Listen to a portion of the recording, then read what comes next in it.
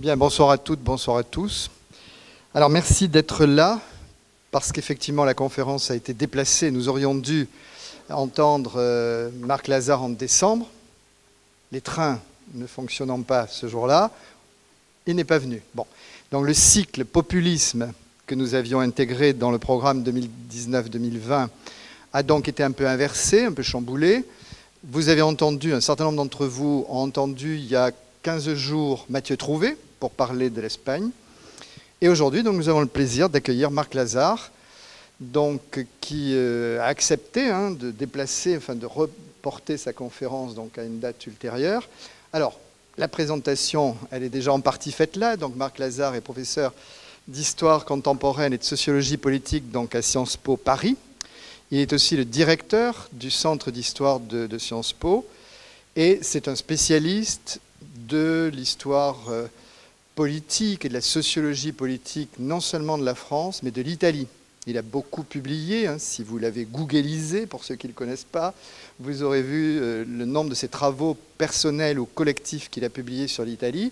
Il rappelle aussi ici ses responsabilités à la Louis, qui est la grande université, on peut dire, de, Rome. Hein. Euh, et donc c'est un très fin connaisseur de l'Italie, vous l'entendez souvent pour parler, enfin, parler de l'Italie, mais il a étudié, alors il a étudié le communisme, il a publié il y a un certain nombre d'années un, ouvrage aussi, enfin plusieurs ouvrages sur le communisme français, notamment, et il a publié beaucoup plus récemment, avec un collègue italien, justement, un exemple de, coopération franco-italienne, donc ce livre hein, avec Ilvo Diamanti, qui s'appelle Peuplecratie. Bon, vous avez dû en entendre parler, hein, il y a déjà un, un an à peu près, c'était voilà la métamorphose de nos démocraties, donc, qui est euh, évidemment un sujet, hein, le, populisme, les populismes, dont euh, on n'utilisait pas nécessairement, ou on ne connaissait pas nécessairement les termes jusqu'à il y a quelques années. Et puis c'est vrai que euh, là, depuis quelques temps, à la fois en Europe centrale, à la fois en Italie, bien sûr, en France et ailleurs, c'est un mot qui désormais est un peu familier à tout le monde. Un mot qu'il va falloir définir. Donc je suppose que euh, Marc Lazare va en parler hein, de cette définition. Qu'est-ce que l'on appelle un populisme ou les populismes? Et donc nous sommes ravis qu'il nous éclaire là-dessus ce soir, avec en particulier, mais il est pas, je ne pense pas qu'il se limitera euh, à ces exemples, le cas de l'Italie et le cas de la France. Enfin, en tout cas, il parle de ce qu'il veut, parce qu'il peut en parler euh, en très bonne connaissance de cause. Donc voilà, nous, allons l'écouter pendant une petite heure. Bien, merci, merci de cette présentation, merci de cette invitation. Euh, effectivement, je vais euh, expliciter le, titre tout à l'heure de, ce livre qui peut vous paraître euh, étrange, Peuplecratie. Mais avant ça, on va essayer de, comprendre un, certain nombre de choses. Et en termes d'introduction, je reprendrai ce que vient de dire euh, Bernard, c'est-à-dire que c'est effectivement le populisme est une expression, un mot euh, extraordinairement utilisé, euh, notamment dans les médias, par les responsables politiques qui accusent les autres d'être populistes. On est d'ailleurs toujours le populiste de l'autre. très souvent, pendant toute une époque, ceux qu'on accusait d'être populistes réfutaient cette appellation. Depuis quelque temps, on voit que selon une procédure justement empruntée à la sociologie, euh, notamment un sociologue qui s'appelait Howard Becker, il y a ce qu'on appelle une inversion du stigmate. Tu me traites de populiste, eh bien je l'assume, oui je suis populiste parce que moi euh, je suis près du peuple, je suis aux côtés du peuple, ce qui n'est pas ton cas. On a donc euh, effectivement une inflation de l'utilisation de ce mot et ça pose problème parce qu'à la fois on pressent qu'il y a quelque chose qui se passe, et qui se passe pas simplement en France, tu l'as rappelé euh, Bernard, euh, en Europe, mais, dans le monde. Vous pouvez penser tout de suite, bien sûr, euh, aux États-Unis, vous pouvez penser au Brésil, vous pouvez penser aux Philippines. Il y a maintenant pléthore d'exemples, au point que, et je vais utiliser dans cette introduction quelque chose qu'on ne devrait pas faire, mais utiliser une expression un peu schématique, mais qui parfois permet de, comprendre des choses, on pourrait dire, et c'est conditionnel, hein, c'est conditionnel, mais c'est pour résumer d'une formule que le 19e siècle a été entre autres le siècle des nationalismes, c'est excessif, mais ça représente une part euh, d'une vérité historique, que le XXe siècle, en tout cas dans sa première moitié, a été euh, le siècle des défis des totalitarismes, et dans sa deuxième moitié, euh, surtout en Europe, d'institutionnalisation des démocraties, et que peut-être euh, on est rentré dans ce 21e siècle avec un siècle des populismes. C'est d'ailleurs le titre du livre que vient de sortir euh, un, grand, un éminent collègue, Pierre Rosanvallon, qui, qui, appelle son livre, qui intitule son livre Le siècle du populisme. Et, je partage, et je crois que nous sommes tous conscients qu'il y a quelque chose qui euh, se joue actuellement. Mais ce quelque chose est compliqué justement par l'inflation de l'utilisation de ce mot, très souvent utilisé sans qu'on le définisse. Et effectivement, ça, va être ma première partie, c'est euh, populisme et populiste européen, et, d'abord de comprendre et de proposer une définition. Et là, je crois qu'il faut vraiment euh, clarifier les choses parce que on a depuis, en fait, les premiers vrais travaux sur le populisme datent de 1967. C'est en 1967 qu'en Grande-Bretagne, à Londres, il y a eu un colloque fameux organisé par un très grand philosophe libéral qui s'appelait Isaiah Berlin. on a eu une, première publication d'un livre en anglais qui s'appelle Populism, qui a été publié deux ans après, en 1969. Et puis après, il y a eu d'autres travaux. Et depuis justement le début du XXIe siècle, mais c'est tous les jours qu'il y a un livre qui est publié euh, par euh, des sociologues, des politistes, des anthropologues, des psychologues, euh, des historiens. Et tous les jours, je reçois, par exemple, quatre ou cinq articles publiés dans des revues scientifiques sur les questions des populismes et du populisme. Et du coup, il y a un débat dans ce qu'on appelle les sciences humaines et sociales, qui est un débat assez classique. Est-ce qu'il faut quand même se référer à la notion de populisme, puisqu'on sait que c'est un mot valise c'est une notion très confuse, c'est une notion très floue, très difficile à manier, et d'autant plus qu'elle est instrumentalisée politiquement. Et un certain nombre de collègues, je vais prendre deux exemples très différents, disent non, il ne faut pas utiliser la notion de populisme. Euh, il y a ceux qui expliquent, je pourrais vous donner toutes les références, qui expliquent bah, finalement c'est le retour du fascisme. On a notamment un, collègue argentin qui s'appelle Federico Finkelstein, qui a publié un, très grand livre euh, en, en, langue anglaise, qui explique non, ça ne sert à rien d'utiliser la notion euh, de populisme, c'est en fait la résurgence euh, un revival, pour reprendre son expression, euh, du fascisme. Certes, il ne se présente plus comme il l'a été dans les années 20, 30 ou, 40, mais c'est la continuité du fascisme. Il y a un autre euh, historien italien qui vit en Grande-Bretagne, qui travaille en Grande-Bretagne, qui s'appelle Andrea Mamon, qui est sur la même position scientifique. Et ça, c'est un élément, et moi je pense que c'est une erreur. Un, je pense que ce n'est pas que le populisme n'est pas du fascisme aujourd'hui, mais ça c'est un sujet véritablement de, débat, et surtout qu'il n'y a pas que des populismes de droite, comme j'essaierai euh, de vous le démontrer. Puis il y a une deuxième prise de position que j'emprunte à un livre qui euh, vient d'être publié il y a quelques mois d'un économiste, mais qui est nourri d'histoire, qui s'appelle Thomas Piketty, très connu, dans son livre Capital idéologique, qui ne porte pas du tout euh, là-dessus, qui porte, comme vous le savez, sur les questions d'inégalité, qui est effectivement son grand champ d'investigation. Il y a quelques, un petit passage sur les populismes à la fin où il dit euh, non, il ne faut pas recourir à cette notion parce qu'elle est instrumentalisée politiquement, elle est trop confuse, et puis ça, ça, ne sert à rien euh, de l'utiliser parce qu'on ne comprend pas ce qui est la question essentielle de notre siècle, qui est justement euh, la question des inégalités. Et euh, utiliser la notion de populisme, dit-il, c'est en fait suggérer que les gens qui sont victimes des inégalités seraient en fait xénophobes, racistes, dans une situation de repli. Et en plus, Emmanuel Macron l'utilise beaucoup. Et, ça, donc, c'est une instrumentalisation politique. Donc, il vaut mieux éviter de recourir à la notion de populisme. Mais moi, je pense que non. Euh, on peut utiliser la notion de populisme, on peut essayer euh, d'en donner une définition, on peut essayer de, travailler là-dessus, euh, sachant que c'est compliqué, c'est difficile et c'est contestable. Et la distinction que je veux opérer ici tout de suite, c'est une distinction que j'emprunte à partir de l'historiographie du fascisme. Même si je pense, je répète tout de suite, et j'insiste là-dessus, le populisme, à mon sens, même les populismes de droite dont je vais parler, ne sont pas des résurgences du fascisme. Mais encore une fois, ça, peut être un sujet de débat. Qu'est-ce que nous ont appris les spécialistes de l'histoire du fascisme? Ils ont opéré une distinction entre ce qu'ils appelaient le fascisme mouvement et le fascisme régime. les plus grands travaux ont fait cette distinction, c'est le fascisme mouvement, c'est avant la prise du pouvoir, c'est le type de parti politique, le type de stratégie, le type de culture politique mobilisée. Puis il y a une autre chose, une autre distinction à faire, c'est le fascisme une fois qu'il est régime, qu'il est au pouvoir.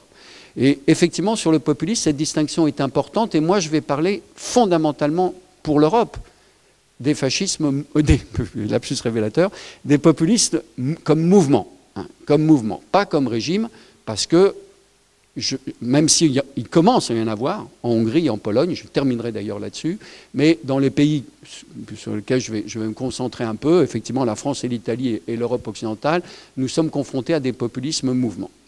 Un, un mot sur le mot. Euh, Lucien Fèvre, le grand historien, euh, nous disait toujours, quand on fait de l'histoire, il faut commencer par l'histoire d'un mot. Hein. Euh, le, mot populisme, on, essaye de, retrouver, selon les pays, son apparition. Une des premières apparitions, c'est en 1912 en France, dans un ouvrage d'un ancien député de la Douma qui était en exil et qui fait un livre en français sur la Russie moderne où il parle des narodnis, c'est-à-dire ce mouvement qui existait en Russie, des intellectuels qui allaient vers le peuple, et il emploie en français pour la première fois le mot populiste. Mais en français, euh, comme le rappelle Pierre-Rosan Vallon dans ce livre auquel j'ai fait allusion, la première fois on l'emploie, c'est en 1929 dans un manifeste pour le roman populiste. Et donc, ça passe par la littérature. C'est euh, l'affirmation d'un certain nombre d'écrivains que jusqu'ici, la littérature ne parle que, pour aller vite, de la, de la bourgeoisie, et qu'il faut parler du peuple. Et d'ailleurs, depuis cette date-là, il y a un prix du roman euh, populiste avec des grands romanciers qui l'ont obtenu. Ça, c'est pour la France. Mais aux États-Unis, euh, dès la fin du XIXe siècle, et c'est une expérience matricielle du populisme, je vais en dire deux mots tout à l'heure, c'est le People's Party qui naît à la fin du XIXe siècle. Quoi qu'il en soit, donc euh, c'est à partir surtout de la deuxième moitié du XXe siècle que le mot populiste s'est imposé et donc, j'y ai donc euh, évoqué, c'est depuis la fin des années 90, milieu des années 90 et début du XXIe siècle qu'il s'est diffusé. Alors quand on regarde toute cette production scientifique. Hein. Je ne parle pas ici de la production journalistique qui est aussi très importante sur les populismes. Je crois qu'on peut la résumer autour de deux grands filons. Je, simplifie tellement c'est ample et c'est complexe. Mais il y a deux grands filons interprétatifs pour dire qu'est-ce que c'est le populisme. Le premier, et c'est une distinction, excusez-moi de, le terme que je vais employer, la distinction est idéale typique au sens de, Max Weber. C'est-à-dire que ce n'est pas la réalité, mais ça nous permet de comprendre à partir de cette distinction des réalités. Le premier filon, ça consiste à dire que le populisme est une idéologie. Et, ceux, même ceux qui défendent cette position, qui est plutôt dominante notamment en sciences politiques, ajoutent tout de suite une mince idéologie. Mais c'est l'idée que c'est une idéologie. Alors c'est très intéressant comme euh, euh, proposition, parce qu'on on peut remettre ça dans une perspective historique tout de suite. C'est-à-dire, euh, on a eu le développement, notamment en Europe, de grandes idéologies euh, à partir du XVIIIe et XIXe siècle, surtout le conservatisme, le libéralisme, le socialisme, le communisme, etc.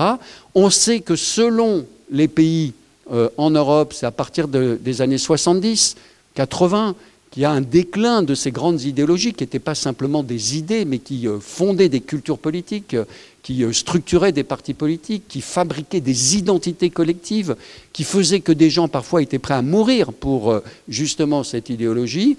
Et donc il y a un déclin de ces grandes idéologies et les sociétés, la politique, comme la nature ayant horreur du vide, ben, il y a une nouvelle idéologie qui serait euh, le populisme. Ça, c'est le, premier filon interprétatif, et donc euh, on essaye de comprendre le type d'idéologie dont serait euh, porteur ces populistes. Le populisme serait la nouvelle idéologie, l'idéologie du XXIe siècle, fut-elle encore une fois mince. Alors, vous voyez tout de suite l'objection qu'on peut faire et que je fais, moi je ne m'inscris pas dans ce courant, c'est mais sur quoi reposent euh, les fondements? Quels sont les fondements justement de cette idéologie? Idéologies auxquelles j'ai fait allusion, on peut mettre un auteur. Si je pense libéralisme, euh, ben, je vais penser tout de suite, par exemple, à Tocqueville. Euh, si je pense communiste, je vais penser Marx, etc. etc. Euh, ici, on ne voit pas véritablement d'auteur, sauf que c'est vrai, sauf que c'est vrai qu'un certain nombre d'intellectuels aujourd'hui essayent de s'ériger comme des idéologues de ce populisme, notamment à gauche, plus qu'à droite paradoxalement. Et c'est en particulier le cas d'un grand Argentin qui s'appelle Ernesto Laclao et de sa épouse Chantal Mouffe, qui Laclao est décédé il y a quelques années, et qui ont justement défendu ce qu'ils appellent un populisme de gauche, hein, et qui ont fait une série d'ouvrages importants, philosophiques, inspirés de Carl Schmitt, pour essayer de définir un populisme de gauche. Donc il y a des tentatives. Mais pour le moment, même à droite, je vais tout à l'heure nuancer avec un exemple, euh, il n'y a pas véritablement de structuration d'idéologie au sens où on entend classiquement euh, le, mot, l'acception de la notion d'idéologie. Il y a donc un deuxième filon dans lequel moi je m'insère plutôt, qui est de considérer que le populisme est un style, fondamentalement. Encore une fois, c'est une distinction idéale typique. Et si c'est un style, ça ne veut pas dire qu'il est totalement dénué d'idéologie. Il y a des fragments d'idéologie. Et c'est parce qu'il y a des fragments d'idéologie que tout à l'heure, dans les distinctions que je vais faire, je vais parler de populisme de droite et de populisme de gauche. Mais c'est fondamentalement un style très pragmatique. C'est euh, ça qui caractérise le populisme. Alors si on accepte justement cette deuxième acception de la définition du populisme, on peut aussi relire l'histoire. Et le présent. C'est-à-dire qu'on peut dire qu'il y avait des styles populistes, y compris dans des formes politiques qui ont existé dans le passé. Euh, le communisme, puisque Bernard avait la gentillesse de rappeler que j'avais à une époque pas mal travaillé là-dessus, il y avait une composante populisme dans le communisme français, par exemple, ou dans le communisme italien. C'était euh, une composante, euh, notamment, par exemple, dans les années 30, lorsque Maurice Thorez dénonçait les sans-familles et opposait le peuple un peuple qui était. Euh, Maurice Thorez était le secrétaire général du Parti communiste français euh, en, 1931 euh, et il a été à la direction de ce parti jusqu'en 1964. Il y avait en quelque sorte des moments populistes comme stratégie du Parti communiste. Mais ce populisme, si j'ose dire, était sous contrôle parce qu'il était contrebalancé d'abord par l'importance de la doctrine marxiste, qui accorde très peu d'importance à la notion du peuple, à la centralité de la classe ouvrière, surtout dans le cas du Parti communiste français, à l'ouvriérisme, c'est-à-dire à, l'exaltation euh, de la classe ouvrière, mythologique, culturelle que faisait euh, ce parti, et par conséquent, ce populisme, encore une fois, était sous contrôle. On pourrait dire, et on peut dire, que le fascisme en Italie avait une composante euh, populiste. Mais ce serait faux de résumer le fascisme au populisme. Il n'était pas que ça, il était bien plus que cela, justement. Et si on admet donc ce style, vous comprenez que ce style peut se combiner avec des idéologies préexistantes ou exister comme il peut exister aujourd'hui, quasiment, je vais forcer un peu le trait pour me faire comprendre, à l'état pur. Et si c'est un style, ben, il faut essayer de comprendre sur quel répertoire repose ce style. Et on peut identifier quels que soient les populismes, effectivement un certain nombre de ce que je pourrais appeler d'ingrédients de ce style, de préceptes de ce style. Sur quoi? Bah, D'abord, c'est l'idée qu'il y aurait une opposition, terme à terme, fondamentale, entre un peuple qui est supposé être homogène, uni, qui est supposé être porteur de la vérité en tant que tel, qui est supérieur moralement à une classe dirigeante, résumée par une expression, euh, euh, establishment, très souvent, donc venu euh, de l'Angleterre, venu du vocabulaire euh, anglais, ou une autre expression, caste. Caste, c'est très intéressant parce qu'au départ, ce mot est le titre d'un best-seller de deux journalistes italiens qui dénoncent les privilèges considérables, il faut reconnaître quasiment indignes, euh, des parlementaires italiens, qui sont les mieux payés de toute l'Europe. Et ce livre a été un best-seller, il s'est vendu à des centaines de milliers d'exemplaires. Et il a été récupéré très vite, le mot caste, par une des formations dont je parlerai tout à l'heure, le mouvement 5 étoiles. Il a été récupéré, il est passé par un transfert euh, du côté de l'Espagne avec un populisme dit de gauche, Podemos, et Jean-Luc Mélenchon l'a récupéré en France, il l'a beaucoup utilisé, et avec le poids historique que cela en France, évidemment, par rapport à la société euh, d'Ancien Régime. Donc, ça, c'est le premier point. C'est-à-dire que l'idée, ce style repose sur l'idée qu'il y aurait euh, et donc vous voyez qu'il y a des éléments quand même de référence idéologique, mais sur l'affrontement, l'antagonisme entre un peuple homogène, vertueux, euh, puissant, et une petite classe dirigeante, une minorité, une minorité qui en plus est supposée comploter en permanence contre le peuple. Et, là, il y a un soupçon euh, permanent qui est présent justement dans le style populiste. La deuxième chose de ce style, c'est qu'il n'y a pas de problème compliqué il n'y a pas de problème compliqué. Il n'y a que des solutions simples. Et il n'y a pas de problème compliqué. Et ceux qui expliquent qu'il y a des problèmes compliqués cherchent justement à, euh, pour reprendre une expression qui est pas mal utilisée maintenant en France, enfumer le peuple. Et puisque euh, il n'y a pas de problème compliqué, qu'il n'y a que des solutions simples, eh bien, il n'y a qu'à faire des référendums, par exemple, d'où le recours systématique à la procédure de référendum, qui a sa vertu dans un système démocratique. Mais ici, il est systématiquement euh, revendiqué, réclamé et proposé parce qu'il n'y a pas de problème compliqué. Hein. Ou la consultation sur les réseaux sociaux. Je reviendrai bien sûr euh, sur cet aspect-là. Troisième euh, élément, troisième élément de ce répertoire à la fois rhétorique et d'action, c'est la vision dichotomique du monde, de la politique et de la société. Hein. il y a un eux et un nous. il n'y a d'ailleurs pas d'adversaire, il n'y a que des ennemis. Euh, et ces ennemis euh, sont des ennemis verticaux, c'est ceux qui sont au-dessus, dans chacun des pays, qui sont au-dessus au niveau de l'Union européenne, et pour certains de ces populismes horizontaux. Horizontaux, c'est-à-dire ceux qui sont supposés justement menacer l'unité du peuple, la cohésion du peuple, voire la pureté du peuple. Et donc, pour les populistes de droite dont je parlerai, c'est l'immigré, c'est le musulman. Et parfois, maintenant, dans les pays d'Europe centrale et orientale, de nouveau les juifs. Et donc c'est un élément très important que cette vision euh, dichotomique, tout se résume à un oui ou un non, au bien euh, contre le mal. Autre élément important euh, de ce style, c'est le, fait que est remise en cause, à la fois dans la rhétorique et, dans l'action, la démocratie libérale et, représentative, ou plus exactement surtout la représentation. Et parce que la représentation, c'est le début de la perversion. Et par conséquent, ce qui doit euh, s'affirmer, ben, c'est la souveraineté euh, du peuple qui est sans limite. Euh, elle est sans limite et par conséquent, ça va avoir des conséquences sur justement les, pratiques politiques et surtout l'affirmation de l'incarnation. Le peuple doit s'incarner. Et doit s'incarner en quoi? Ben, En un leader. et l'importance d'avoir un chef ou une chef, un leader ou une leader qui incarne la volonté du peuple et qui euh, exprime ce que veut le peuple. Alors, c'est des éléments importants hein, euh, de, ce répertoire. C'est un populisme, euh, ici encore une fois, mouvement. Et si on accepte cela, ben, je crois qu'on peut essayer de décrypter, j'ai bien dit que c'était une construction idéale typique, à partir de cela, on peut essayer de comprendre qu'il y a un syndrome du populisme, c'est-à-dire un phénomène général, mais qu'il y a une diversité euh, d'organisation, de structuration de ce même phénomène. Et donc, c'est ça qu'il faut bien comprendre. Hein. Le populisme est un phénomène général, et en même temps, il y a une diversité. Et rien n'est plus faux, et très souvent on commet cette erreur, de prendre le populisme comme un ensemble uni et homogène. Hein. il y a un phénomène en tant que tel, il y a un syndrome, et il y a une diversité euh, que je présenterai dans un instant. Mais d'abord, il faut essayer de comprendre ce que moi j'appelle les populismes traditionnels et les néo-populismes, c'est-à-dire ceux d'aujourd'hui, avant même de, les présenter. Quand on fait l'histoire euh, de ces populismes, en fait, on, on constate qu'il y a trois matrices originelles qui sont au XIXe siècle.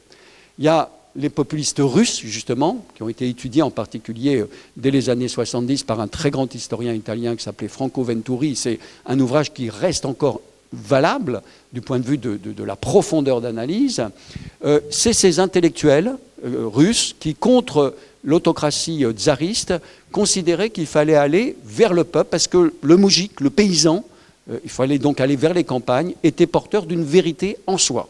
Hein.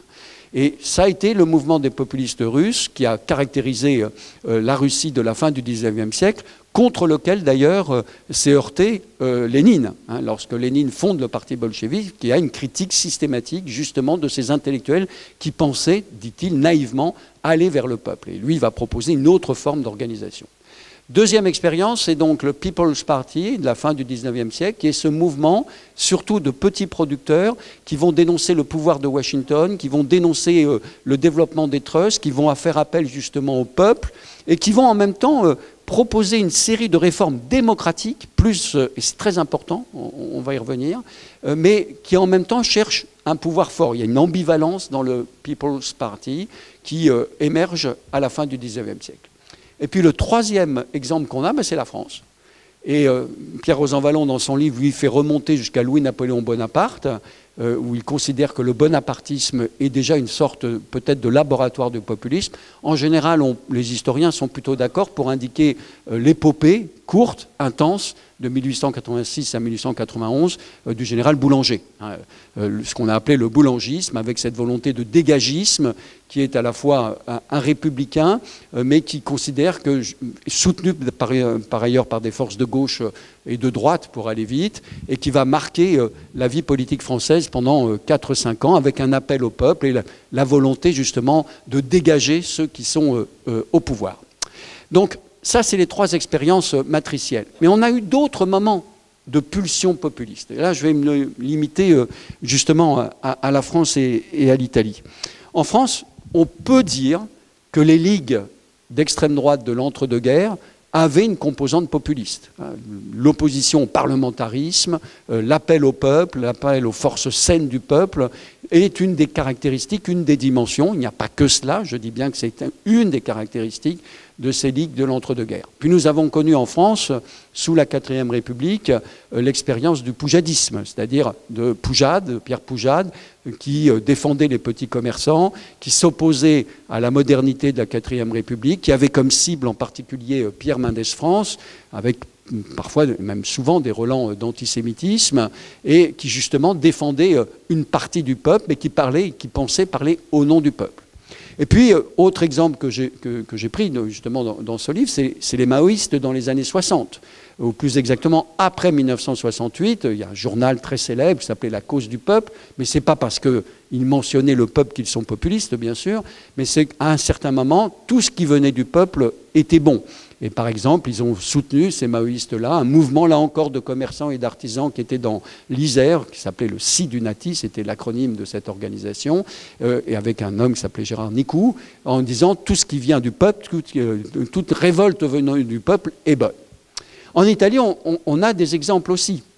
Euh, au lendemain de la Seconde Guerre mondiale, il y a eu une très grande inquiétude dans les partis antifascistes, démocrates chrétiens, socialistes, communistes, parce qu'a émergé un journal autour d'un journaliste, Giannini, qui s'appelait L'uomo qualunque, l'homme quelconque. On a appelé ça le qualunquismo.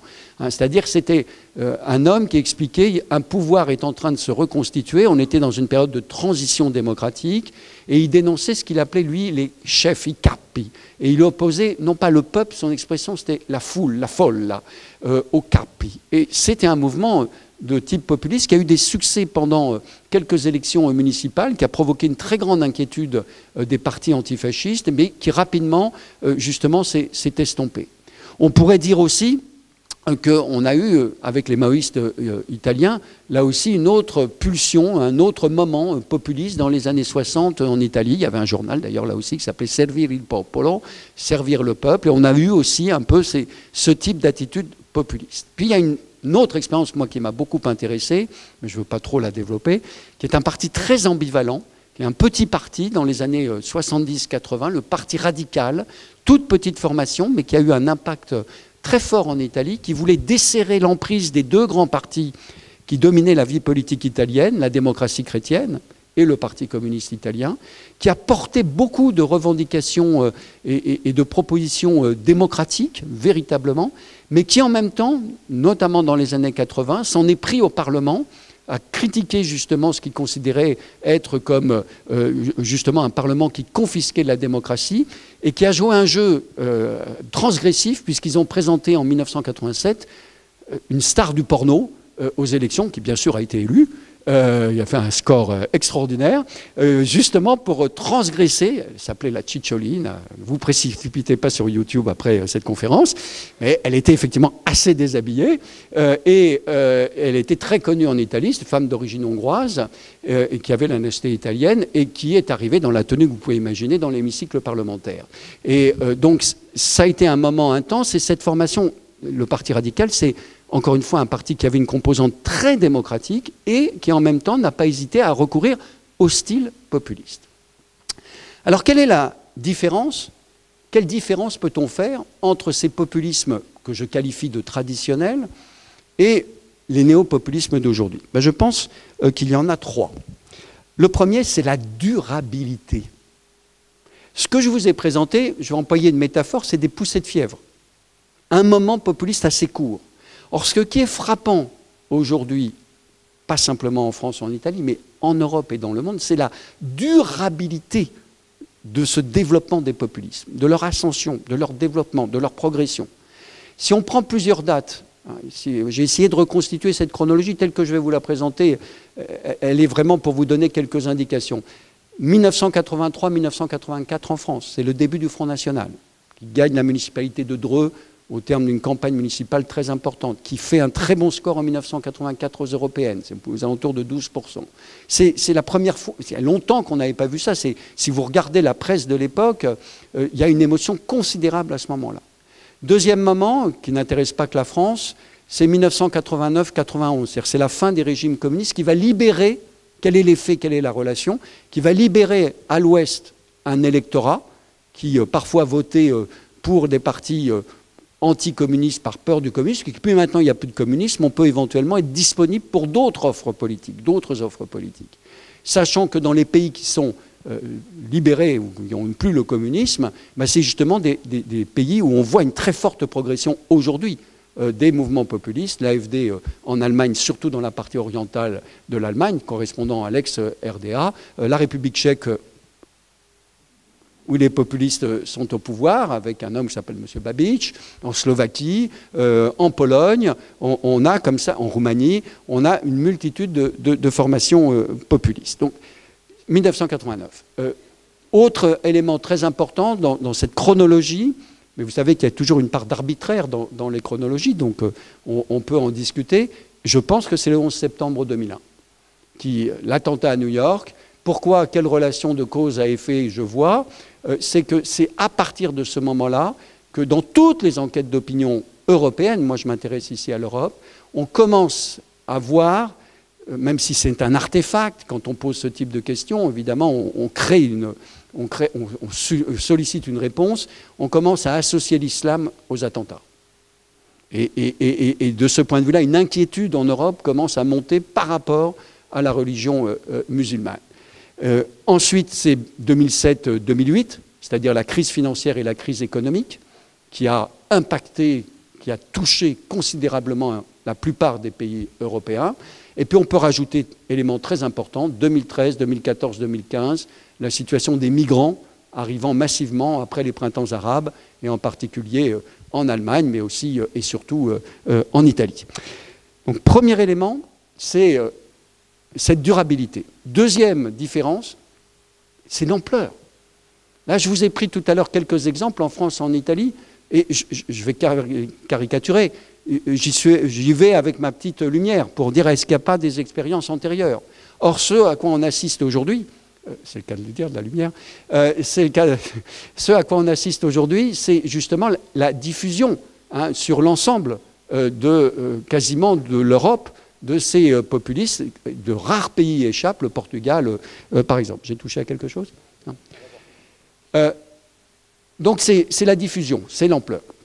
Et puis troisième chose, troisième grande définition, troisième grande différence, pardon, c'est le rapport à la démocratie. C'est le rapport à la démocratie. La plupart des expériences populistes antérieures, comme des poussées de fièvre, contestent la démocratie et affirment ou pensent, dans la plupart des cas, qu'il faut établir un régime fort. Que ce soit la dictature du prolétariat pour les maoïstes ou que ce soit des régimes de type autoritaire autour d'un homme fort. Or, aujourd'hui, les populistes d'aujourd'hui se présentent comme les meilleurs défenseurs de la démocratie. Les meilleurs défenseurs de la démocratie ils ne se présentent pas comme des gens hostiles à la démocratie. Ils se présentent comme des gens qui veulent plus de démocratie. Leur grand argument, c'est, euh, je vais le résumer comme ça euh, pour, bien vous le faire comprendre, c'est de dire, nous, nous sommes les vrais démocrates, et vous, aux autres partis, vous n'êtes pas démocrates. La preuve, c'est que vous ne voulez pas consulter le peuple par référendum. Nous, nous sommes les vrais démocrates. Nous sommes porteurs de la vraie démocratie. Et c'est vous qui confisquez la démocratie, c'est vous qui avez peur du peuple. Nous, nous n'avons pas peur du peuple. Ça, c'est un argumentaire que tous les formations que je vais présenter rapidement dans un instant utilisent. Hein. Nous sommes des démocrates et nous avons une autre conception de la démocratie. On va voir laquelle. Et par conséquent, ça, c'est une transformation très importante. Et ça met les partis traditionnels en grande difficulté. Et leur réponse est de dire non, vous êtes des autoritaires, vous êtes des fascistes. on l'a dit par exemple à Matteo Salvini, il dit Moi, en quoi je suis fasciste? En quoi je suis fasciste? Je suis pour plus de démocratie. Là, je vous demande d'aller voter. Hein, dissolvons les chambres et allons voir ce que pense le peuple. C'est un argument très fort. Et vous, vous avez peur, vous faites tout pour rester ensemble au pouvoir, alors que moi, je dis qu'une chose le peuple, le peuple souverain. Donc ça, c'est une transformation politique et idéologique euh, absolument considérable. Alors, populisme comme un syndrome, mais diversité des populismes. Je vais, vous, je vais passer rapidement là-dessus parce que c'est l'aspect euh, le plus connu, c'est cette typologie des populismes qu'on peut faire. Alors quand vous regardez ce qu'on appelle dans notre jargon la littérature, c'est-à-dire toute la production euh, scientifique consacrée au populisme, il y a des multiples typologies. J'en ai fait une très simple qui euh, consiste à dire d'abord des, populismes d'extrême droite. Ils sont dominants en Europe. C'est eux qui sont dominants. Que ce soit en Allemagne, enfin, si on prend le cas de l'AFD, si on prend le cas de la Ligue en Italie, si on prend le cas du Rassemblement national en France, euh, Vox euh, en Espagne qui progresse, qui Podemos est encore devant, si on prend la plupart des pays, les populismes d'extrême droite sont dominants. Je vous ai mis des figures connues euh, que je n'ai pas besoin de, développer, hein, Marine Le Pen et, Matteo Salvini. On connaît, mais on pourra y revenir dans la discussion, je ne voudrais pas être trop long, on connaît ce type de populisme et j'aurai l'occasion de, revenir tout à l'heure sur eux.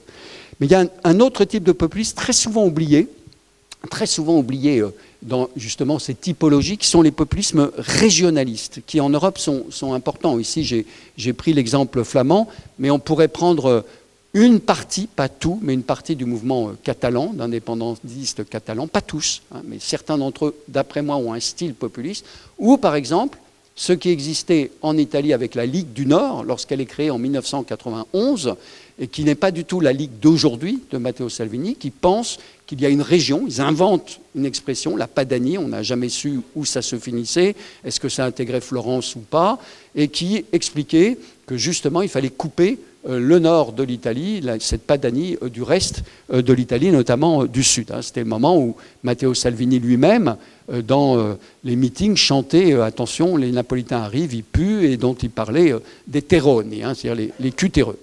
Ça, ça a été un mouvement très important. La Ligue du Nord est le premier parti politique depuis les années 91 dans l'Italie du Nord, c'est-à-dire l'Italie la plus riche. La plus riche. Hein. La Ligurie, un peu moins pour la Ligue du Nord, mais surtout le Piémont, la Lombardie et la Vénétie. Troisième type de populisme auquel, là aussi, on, prête très peu d'attention, et là où l'Italie a véritablement euh, été un laboratoire, c'est le populisme de chef d'entreprise. Et ça, j'insiste beaucoup sur celui-ci, parce qu'il est très peu étudié, alors que selon moi, il est très intéressant. Silvio Berlusconi, euh, chef d'entreprise, possédant des télévisions, la moitié du paysage euh, télévisuel, on a pu parler d'un populisme télévisuel, s'engage en politique à partir de 1994, va gagner trois fois les élections et va obséder, il n'y a pas d'autre mot, euh, toute la vie politique italienne, si ce n'est même la vie politique européenne, de 1991 jusqu'en 2011, 2012 à peu près. Hein, et c'est très important qu'il soit au pouvoir ou à l'opposition. Et en quoi c'est un populiste?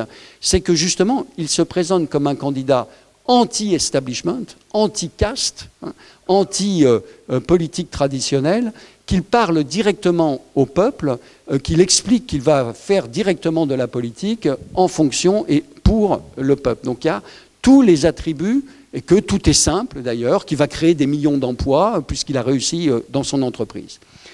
Et l'erreur qui a été commise, ça a été de penser que ça relevait de ce qu'on a longtemps appelé l'anomalie italienne. Or, qu'est-ce qu'on découvre? C'est qu'il y a beaucoup de chefs d'entreprise qui maintenant font la même chose. On a eu un exemple en Autriche, qui a échoué, un exemple en Croatie, qui a plutôt bien fonctionné, même si euh, ce milliardaire croate n'a pas réussi à, prendre le pouvoir. Le président, le premier ministre tchèque est un homme d'affaires, et puis maintenant, on a évidemment Donald Trump, euh, qui est typiquement ce type de populisme venu du monde des affaires qui se présente comme neuf en politique, bousculant bousculant, ça c'est un terme que moi j'utilise de plus en plus, bousculant les institutions euh, traditionnelles, parce que justement c'est des institutions de cette démocratie représentative qu'il faut bousculer, je ne dis pas subvertir, mais bousculer parce que ce qui compte c'est l'incarnation du pouvoir du peuple, en l'occurrence ici euh, des blancs américains, ceux qui avaient perdu leur travail, ceux de l'industrie traditionnelle. Donc c'est pas vrai, il n'y a pas de problème climatique, euh, on peut continuer la croissance. Euh, tout ça, c'est ce que racontent des intellectuels qui sont de toute façon dénigrés. L'aspect anti-intellectuel, anti-expert est un ingrédient fondamental du populisme, des chefs d'entreprise comme des autres formes de populisme. Et puis on a un dernier euh, deux derniers types de populisme. Le populisme de gauche, bon, on peut en prendre un, exemple avec Jean-Luc Mélenchon, la France insoumise. Très intéressant le, cas de, Jean-Luc Mélenchon, parce que c'est un homme qui, vient de la gauche, euh, qui a été trotskiste, et puis socialiste, puis qui a créé son parti en, scissionnant du, Parti socialiste, mais qui euh, va connaître une transformation très récente notamment quand vous regardez la campagne de 2017 euh, par rapport euh, à la campagne de 2012. En 2012, c'est le Parti de gauche, qui est une coalition où il y a d'ailleurs euh, ce qui reste du Parti communiste, et il se présente comme un représentant de la gauche. Et à partir de 2015-2016, il change d'optique et il explique que dorénavant, gauche et droite, c'est terminé, que ce qui compte, c'est l'opposition entre le peuple et la caste, et que par conséquent, il arrête avec euh, le parti euh, euh, de gauche pour créer ce mouvement, la France insoumise. Et ça provoque des tensions internes encore aujourd'hui au sein de la France insoumise. C'est la même chose dans Podemos en Espagne, entre ceux qui considèrent que le clivage fondamental, c'est le peuple contre une minorité, et ceux qui disent, quand même, on est de gauche. Et, donc, euh, euh, est-ce que c'est la seule opposition que celle qui oppose le peuple à euh, une minorité qui est celle de l'establishment? Puis un dernier exemple de populisme très original, sur lequel je m'attarde un tout petit peu, c'est celui du mouvement 5 étoiles en Italie, créé au départ par ce comique, Beppe Grillo, et qui s'est structuré, qui a obtenu un extraordinaire succès en, 2018, qui est dans une situation aujourd'hui très très difficile. Je vais y revenir dans un instant. Alors pourquoi c'est intéressant, ce mouvement 5 étoiles? Les 5 étoiles, hein, c'est les, grandes orientations de ce mouvement et qui reflètent la complexité de, ce mouvement, parce qu'il y a des propositions de gauche, tout à fait classiques sur euh, l'augmentation euh, des revenus minimums. Il y a euh, des propositions plutôt classées à droite, notamment sur les migrants, et, l'immigration. Et puis il y a des propositions de type environnemental, écologique, sur la gestion publique de l'eau qui caractérisent ce mouvement. Donc c'est un mouvement très inclassable. C'est inclassable dans la cartographie des populismes européens, telle que je la connais en tout cas. Et puis la deuxième originalité, et elle a inspiré beaucoup, elle a été étudiée par beaucoup de partis traditionnels ou par de nouveaux partis, je vais vous dire dans un instant lequel, le mouvement 5 étoiles a combiné une euh, verticalité, tout le pouvoir à Beppe Grillo aujourd'hui, euh, à Luigi Di Maio qui est à ses côtés, tout le pouvoir, donc un pouvoir considérable, et en même temps une série de formulations de démocratie participative, en particulier sur les réseaux sociaux.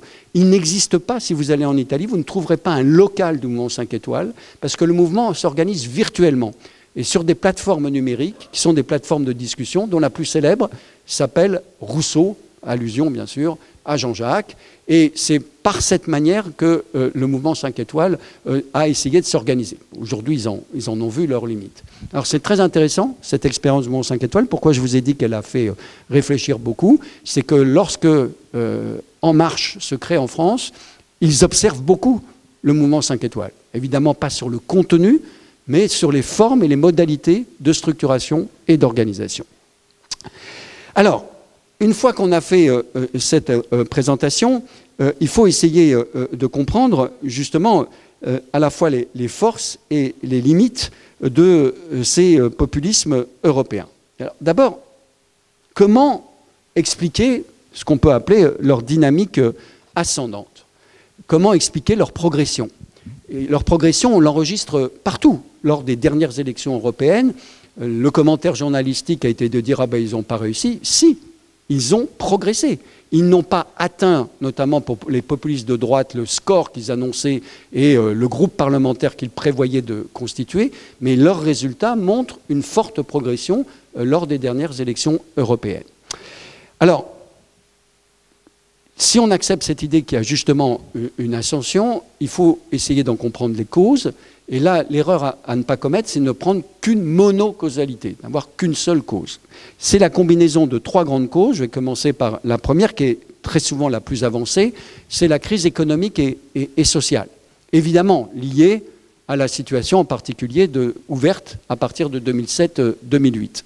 Le chômage, les inégalités de toute nature, qui se sont creusés comme jamais. Alors là, les travaux de Thomas Piketty, entre autres, sont très très utiles. Ils nous le montrent très bien, ils nous le démontrent statistiquement et en plus sur une longue période, puisqu'il a mobilisé beaucoup de données depuis le 19e siècle. On est dans une période où en Europe, explique-t-il, certes les inégalités sont bien moins fortes qu'aux États-Unis ou que dans d'autres pays, mais qui ont considérablement progressé. Euh, inégalités euh, entre hommes et femmes de genre, inégalités euh, sociales, inégalité territoriale, inégalité générationnelle, inégalité entre nationaux et, étrangers dans un même pays.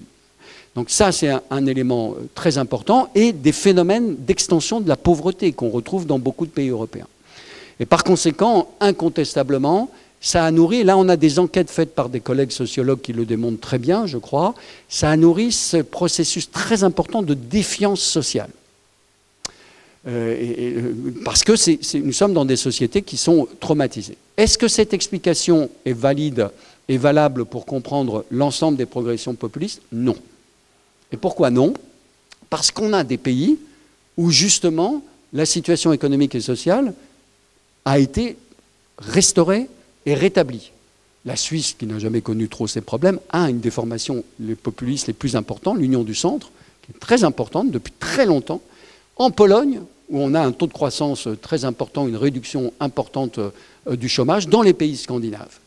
Donc, l'explication économique et sociale, manifestement, ne peut pas être l'unique explication, même si, il faut tout de suite ajouter que dans les pays où justement on a résorbé une partie du chômage, ça s'est accompagné d'une précarisation du marché du travail très importante qui frappe en particulier les personnes les plus âgées, les seniors, les plus jeunes et les femmes et, les étrangers. Hein. Mais globalement, l'explication économique et sociale avancée seule ne permet pas de, comprendre. La deuxième grande explication, c'est vraiment la crise politique. La crise politique, et évidemment les trois crises que je vais vous présenter ici, euh, elles sont à la fois, si j'ose dire, objectivables et en même temps, elles sont construites par les formations populistes qui ont besoin, bien sûr, c'est des entrepreneurs de crise, comme on dit en sciences politiques. C'est-à-dire qu'ils ont besoin d'accentuer encore plus euh, ces euh, problèmes pour démontrer qu'eux ont la solution.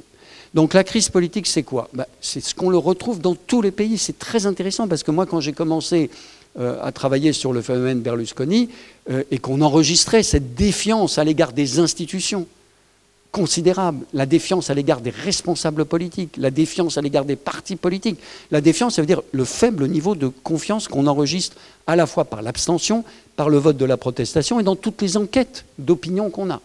Pour vous donner une idée, la moyenne de confiance dans les partis politiques en Italie est de 4%. En France, c'est 10%.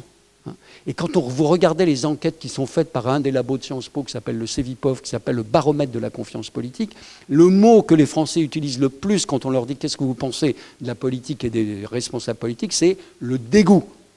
C'est à 80%. Bon, c'est ça la France d'aujourd'hui. Et au début, on pensait que c'était juste l'Italie. Ce qu'on voit, c'est que ça a conquis, ça, euh, ça s'est essaimé, ça a essaimé, ça s'est disséminé dans l'ensemble des pays européens. Même en Allemagne, où on avait encore dans les années 80 un niveau de confiance dans les deux formations traditionnelles, la CDU-CSU d'un côté et le SPD de l'autre, très important, qui se traduisait par des votes pour ces deux formations.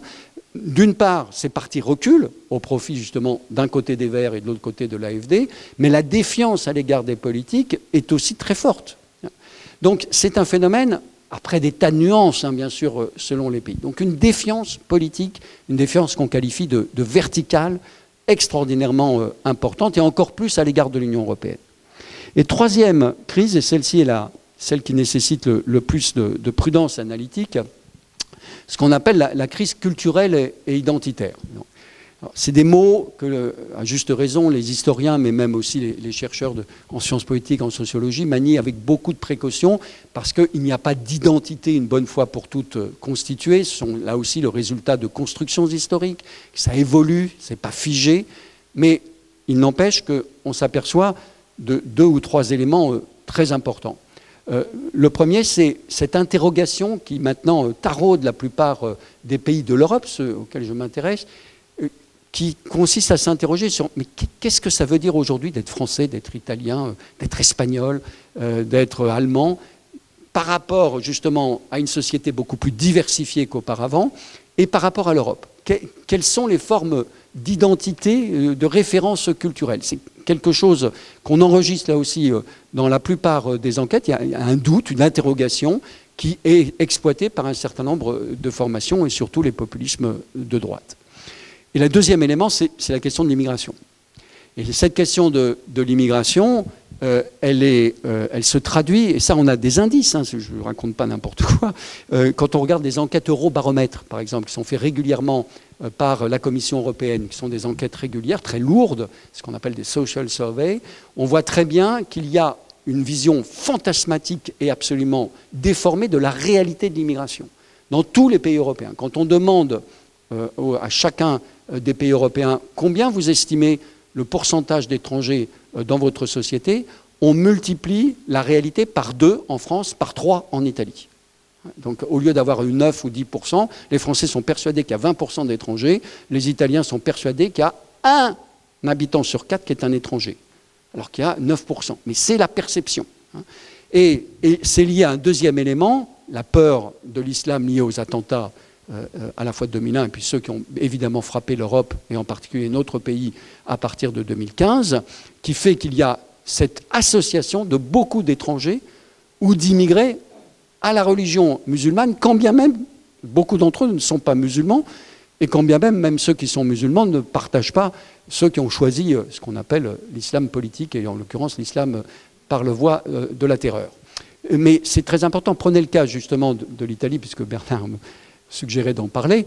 Euh, en Italie, il y a 5 millions d'immigrés, quatre fois plus qu'en 2001. C'est un, un traumatisme très fort en Italie, au moment d'une dénatalité un déclin de la natalité, c'est un des pays qui a le moins d'enfants, et par conséquent, il y a une peur, il y a incontestable qui s'est installée dans ce pays, qu'on retrouve dans beaucoup de pays d'Europe centrale orientale, où toute une partie de la jeunesse a émigré au moment de la fin du communisme. Et donc dans euh, ces petits villages, dans ces petites villes, la présence d'un étranger euh, est considérée comme quelque chose qui euh, suscite une réaction de peur ou d'inquiétude, voire de, de traumatisme.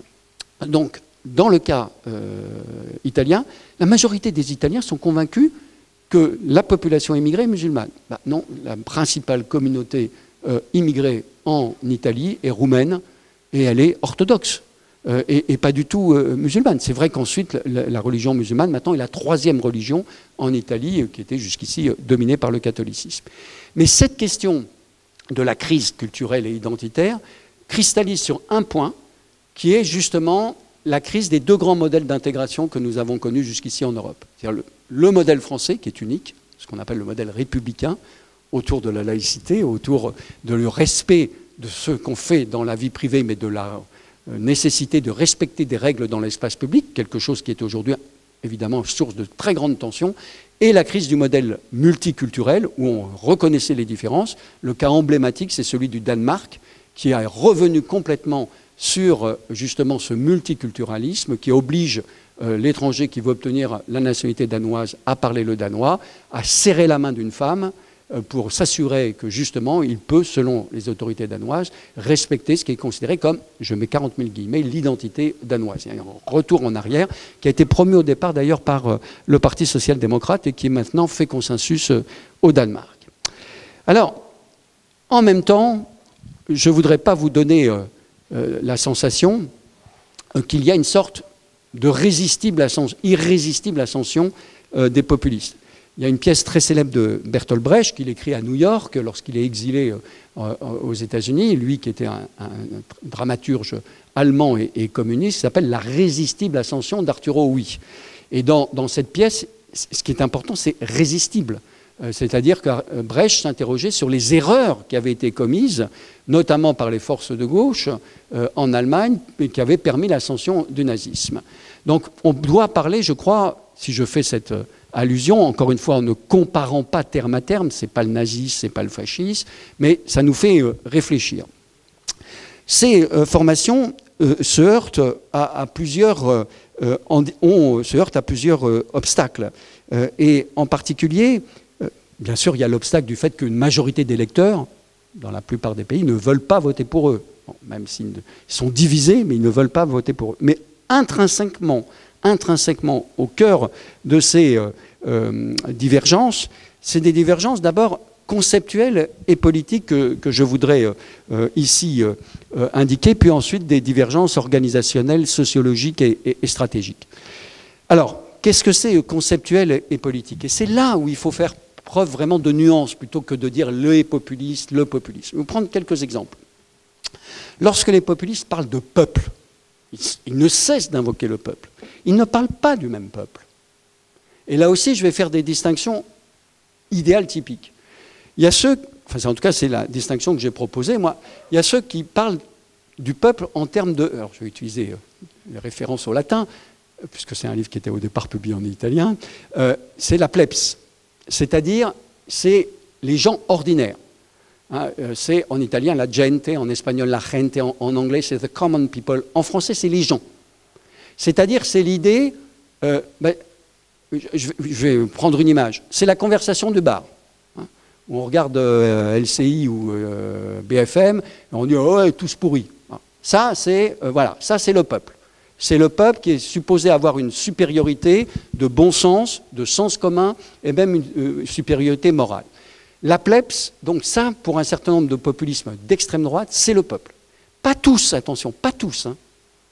Mais c'est une première exception. Et du coup, ce n'est pas la même chose que la deuxième acception de la notion de peuple, qui est celle que j'utilise là aussi une formule latine du populus, c'est-à-dire le peuple citoyen, le peuple conscient, le peuple presque en avant-garde. Ça, c'est le peuple pour, euh, par exemple, les populistes plutôt de gauche, mais c'est aussi le peuple du mouvement 5 étoiles. Et même d'ailleurs dans le cas britannique, là j'étais en train de travailler avec un collègue, l'UKIP, le fameux parti euh, qui est ensuite devenu euh, pro-Brexit de Nickel Farage, était plutôt sur cette dimension, un peuple britannique qui a la conscience justement britannique forte. Donc vous voyez, c'est des distinctions idéales typiques. Et par exemple, si je prends un cas pour être très clair de, Jean-Luc Mélenchon dans sa campagne, moi je l'ai beaucoup suivi, c'était très intéressant parce que très souvent dans sa tradition politique issue de la gauche, il parlait du peuple au sens populus, le peuple actif, les citoyens, la tradition jacobine. Plus, c'est quelqu'un qui connaît bien l'histoire euh, révolutionnaire française. Hein, c'est quelqu'un qui lit, c'est quelqu'un qui est intéressé par ça. C'est important dans sa rhétorique euh, et, dans son aspect euh, tribun. Et en même temps, régulièrement, il a cette expression qui n'existait pas dans la campagne de 2012, les gens. Hein, il interpellait très souvent. Alors les gens, vous savez ce qu'on a fait cette semaine, voilà ce qu'on va faire. Donc on peut jouer sur ces deux aspects. Donc ça, ça a des conséquences politiques importantes. Il ne parle pas du même peuple. Et le troisième peuple, bah, c'est le peuple des populistes de chefs d'entreprise. Là, c'est euh, le peuple de la consommation. Ce que proposait Berlusconi, euh, en particulier, euh, c'est la télévision et, les biens matériels. C'est le peuple de consommateurs. Vous allez consommer grâce à moi parce que je vais vous faire plus riche, puisque j'ai réussi dans mes affaires, et je vais vous donner des images, hein, des fantasmes. Euh, c'est euh, Sex, Sun and TV avec euh, Berlusconi. C'est ça le peuple pour lui, peuple de consommateurs. C'est pas la plèbe, c'est pas le, populus. Hein. donc différentes notions. Même chose sur la nation. Quand on parle de nation, euh, ce n'est pas la même chose entre le populisme de gauche et le populisme de droite.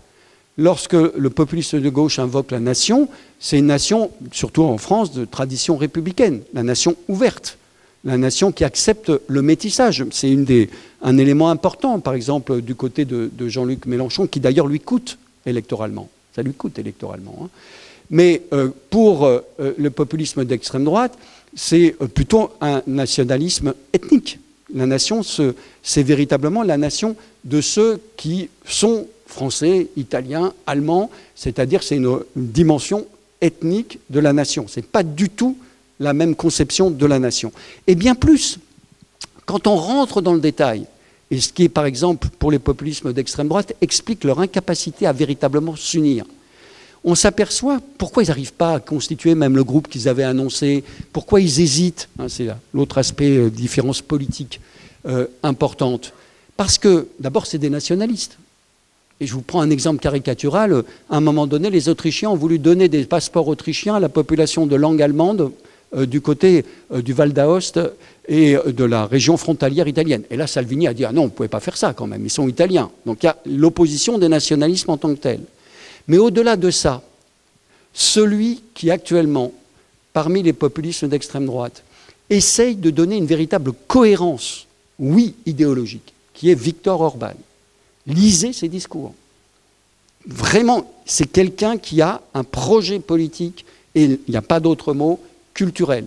Son idée, c'est que l'Europe est menacée par l'islam que l'islam est aux portes. Et du coup, ça rejoue évidemment sur toute la rivalité, en particulier autour de Vienne et de Budapest, entre l'Empire ottoman et euh, l'ensemble euh, des puissances chrétiennes.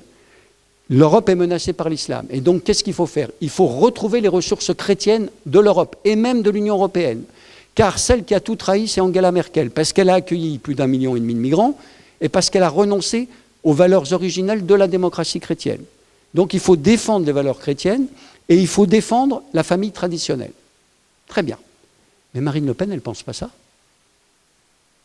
Le populisme de Marine Le Pen, c'est plus ça, c'est plus celui de son père, qui aurait pu se reconnaître là-dedans. Marion Maréchal Le Pen se reconnaît dans ce discours, mais pas Marine Le Pen. Lorsqu'elle parle de la nation, elle parle bien sûr des Français, selon elle, mais elle le fait au nom maintenant de la défense de la République et de la laïcité. Et elle explique, je suis contre l'islam, non pas au nom de la défense des valeurs chrétiennes, mais au nom de la défense des conquêtes féminines des années 70, ce qui est un paradoxe pour quelqu'un qui vient d'une famille de l'extrême droite, qui avait combattu cela. Et elle explique très souvent, c'est important lorsque les responsables politiques euh, se mettent en scène. Elle explique, moi je suis une femme moderne, je suis divorcée, j'éduque mes enfants moi-même, euh, il n'est pas question qu'on me mette un voile, ça c'est le Moyen Âge. Donc ce n'est pas du tout la même chose, et c'est une des raisons des difficultés d'entente entre eux. Donc voyez la complexité euh, à chaque fois, quand on parle de peuple, euh, et de populisme, il faut rentrer plus dans le détail pour essayer de comprendre euh, justement qu'il y a des divergences importantes entre eux et qui expliquent du coup à la fois leurs antagonismes entre populisme de gauche et populisme de droite, et parfois au sein même, notamment des populismes de droite. Mais même quand ils parlent des élites, ils ne parlent pas de la même chose. Lorsque l'extrême droite parle des élites, elle parle des élites le plus souvent, des élites mondialisées. Ça, l'extrême gauche dit le populisme de gauche dit la même chose, mais euh, ils ajoutent euh, c'est des élites libérales. Elles acceptent euh, justement toutes les réformes sociétales auxquelles s'oppose Orban. Mais en même temps, Marine Le Pen ne dit rien là-dessus. Elle n'est jamais allée à une manifestation contre la loi sur le mariage pour tous. Jamais. Et pour cause. Elle connaît parfaitement son électorat. Je vous rappelle que le Front National et le Rassemblement National est le premier parti dans l'électorat jeune aujourd'hui. Et elle sait très bien que ces électorats jeunes sont contrefiches de ces questions-là. Donc elle n'y est pas allée. Et les populistes hollandais, qui sont anti-islam, anti-immigrés, le sont alors qu'ils sont tous des gays déclarés et qu'ils expliquent justement, nous on est contre l'islam parce qu'ils veulent nous imposer des pratiques que nous réfutons parce que nous les avons conquises. Donc, vous voyez, particulièrement euh, complexes et ça explique leur difficulté euh, à se coordonner. Et puis, c'est des différences euh, organisationnelles et, sociologiques et, stratégiques. Je vais passer sur le côté stratégique parce que je vois que justement le temps passe, je suis un peu long. organisationnels, certains sont organisés comme des petits partis communistes, très centralisés, très structurés. D'autres sont beaucoup plus organisés comme des mouvements, comme le mouvement 5 étoiles, beaucoup plus, beaucoup plus lâches. Mais tous ont une caractéristique, c'est le pouvoir du chef. Tous. Le pouvoir du chef est absolument considérable. Alors, j'en viens à, l'impact des populismes, et je serai plus court, là Bernard me fait des gros yeux pour que je, termine, je suis désolé d'avoir été un peu long, mais je, voudrais terminer justement sur l'impact de ces populismes. Et pourquoi? Parce que je crois qu'on a beaucoup de choses, beaucoup d'études, et que maintenant on y voit à peu près clair sur les raisons de ces populismes, les causes, les origines. Et euh, qu'on comprend mieux aussi ce qu'on appelle leur offre politique. Mais ce, sur quoi nous, on a voulu euh, insister, sur l'impact des populismes. Mais cet impact, il est d'abord très fort sur l'opinion. Parce que, justement, euh, il y a une forme de prédominance des propositions populistes sur l'opinion, non seulement sur le fond, je vais y revenir, mais dans la forme. Et notamment parce qu'ils jouent beaucoup sur l'émotion. Ils jouent beaucoup sur les passions. Alors que le langage traditionnel est le langage très souvent de la technocratie, le langage froid. Durant la guerre froide, Raymond Aron opposait euh, ce qu'il appelait la prose grise démocratique face à la poésie épique totalitaire. Une très belle expression à un moment donné pour essayer de comprendre la capacité de fascination qu'avait le communisme selon lui. Hein, la poésie épique totalitaire. On proposait quelque chose de formidable. Ben oui, les populistes ont cette très grande force de jouer sur les passions, de jouer sur les émotions, de proposer des formes de nouveaux romans, très souvent des romans nationaux, parce que le populisme, c'est national, c'est l'affirmation de la souveraineté nationale, même s'ils ont des désaccords sur le contenu de cette souveraineté, et ils en jouent beaucoup, et ça marche incontestablement, ça frappe euh, les opinions, et euh, d'autant plus qu'ils imposent leur thématique. Leur thématique. Tout est simple, rien n'est compliqué, tout le monde est capable d'intervenir sur tout, ce qui n'est pas faux d'ailleurs, selon moi, et ça, ça n'engage que moi, euh, et euh, notamment la question de l'insécurité et de l'immigration. Et deuxième élément, alors, c'est pour la raison pour laquelle, alors on va faire un peu de publicité, euh, on a voulu forger un néologisme avec Ilvo Diamanti, qui est un sociologue italien, qu'on a appelé peuplecratie. Alors en quelques mots, qu'est-ce que ça veut dire Mais la peuplecratie, c'est l'idée que nous sommes dans une nouvelle phase de nos démocraties. Il y a une forme d'épuisement de la démocratie libérale et représentative, incontestablement. Et la peuplecratie, et c'est la différence avec la démocratie, la démocratie c'est le pouvoir, pour reprendre la fameuse formule de Jefferson, hein, du peuple par le peuple pour le peuple, mais avec des contre-pouvoirs. Des contre-pouvoirs. L'idée de la peuplecratie, c'est l'affirmation que la souveraineté du peuple est sans limite et que donc on peut bousculer les institutions puisque j'ai gagné les élections ou puisque j'ai l'opinion avec moi. Et on peut donc en permanence se jouer là-dessus.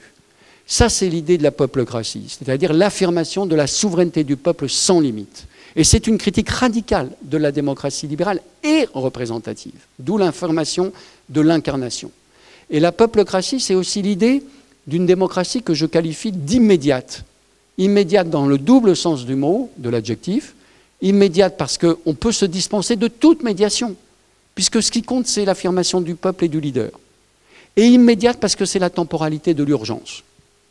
Et donc nous, nous disons, les populistes ne sont peut-être pas arrivés au pouvoir, mais ils sont en train de contribuer à la transformation de nos démocraties. Et c'est tellement vrai que justement, ils imposent leur style, ils imposent leur thématique. Et c'est tellement vrai que ceux qui veulent combattre les populistes recourent à un style populiste. Et on prend deux exemples. Un en Italie qui était Matteo Renzi, et on prend l'exemple d'Emmanuel Macron en France pendant sa campagne de 2017. Bien sûr qu'il n'est pas populiste sur le fond, mais le style qu'il a dû adopter, c'est-à-dire je me présente comme un outsider, je suis contre la classe politique traditionnelle, moi j'ai pas fait de politique, je suis jeune, j'ai moins de 40 ans, euh, je suis le nouveau monde, j'en appelle directement au peuple, alors qu'il a fait Sciences Po, euh, l'ENA, euh, qu'il a été haut fonctionnaire, qu'il a été banquier chez Rothschild, qu'il a travaillé auprès de François Hollande, mais il avait besoin, parce que comme si on ne pouvait pour gagner et pour battre les populistes que utiliser ce type de style. Et par conséquent, ça, c'est notre affirmation. C'est ça la peuplecratie. Nous ne disons pas qu'elle a gagné. Nous disons c'est une dynamique, c'est une potentialité qui est en train de travailler euh, nos démocraties. C'est pour ça qu'on a forgé ce néologie. Je reconnais qu'il est plus beau en italien, puisqu'en italien ça donne popolocrazia, ça sonne beaucoup mieux que euh, la peuplecratie plus terne française. Alors, juste pour conclure, parce que vraiment j'ai été trop long, bah, euh, ça nous amène à une réflexion profonde. Il ne faut pas surestimer les populistes, mais il faut les prendre au sérieux et les analyser sérieusement. Si on considère qu'effectivement ce 21e siècle est dominé par ce défi populiste, il faut le comprendre, il faut l'analyser, et, non pas le stigmatiser, non pas le juger, mais le comprendre. Et la deuxième chose, bah, c'est l'alternative qui se dessine, selon nous, il vaut Diamantier et moi, euh, en Europe, où les démocraties euh, libérales et représentatives sont capables de répondre aux raisons qui expliquent la progression des populistes, la crise économique et sociale, la crise politique, la crise culturelle et identitaire, sont capables de rénover complètement le modèle de la démocratie libérale et représentative qui est en voie d'épuisement, incontestablement. Il y a des tas de gens qui travaillent là-dessus, on pourrait y revenir dans la, discussion. Ou alors, bah, c'est l'autre branche de l'alternative, bah, notre destin, il est peut-être déjà celui qui existe au cœur de l'Europe, justement en Hongrie. Et c'est ce qu'on appelle la démocratie illibérale, théorisée par Viktor Orban, qui consiste à dire, qui a gagné trois fois les élections, moi j'organise des élections, je suis démocrate. Mais pas question d'avoir du libéralisme, pas question d'accepter les contre-pouvoirs. Il n'y a plus qu'un petit journal d'opposition. Euh, il a mis la main sur toute la Cour constitutionnelle. Tous les contre-pouvoirs sont actuellement entre les mains de Viktor Orban. Ça au cœur de l'Europe. Au cœur de l'Europe. Et maintenant, il s'attaque au pouvoir universitaire. Et là, ce n'est pas une défense corporatiste.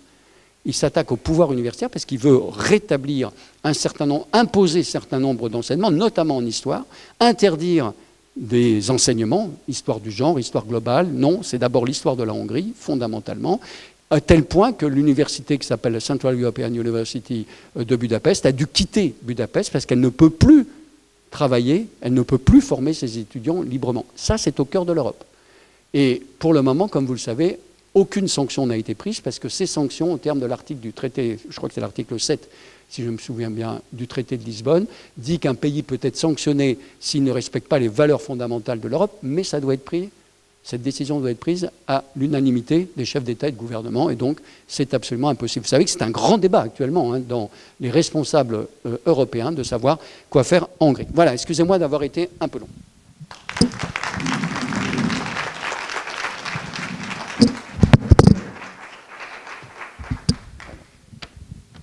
Merci beaucoup. Non, non, c'était pas trop long. Hein. On avait commencé avec un peu de retard.